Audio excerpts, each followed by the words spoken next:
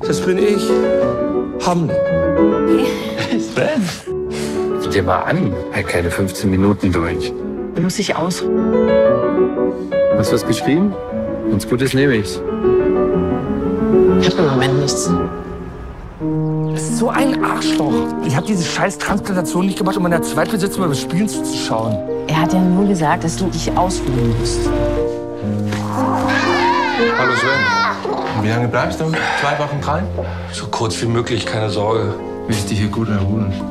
Da ist ja Alkohol drin. Prost. Bist nicht vorangekommen, ne?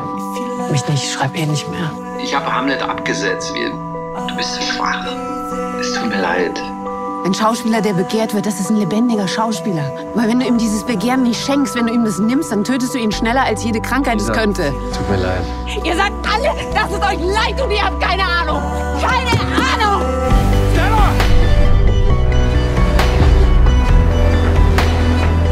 Ich schreib was, ja?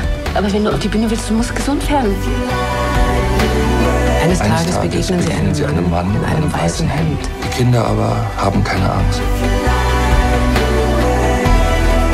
Oh, ihr wart so süß. Du bist doch meine Schwester, in zwei Minuten nach mir zur Welt gekommen ist. Ich muss auf dich aufpassen.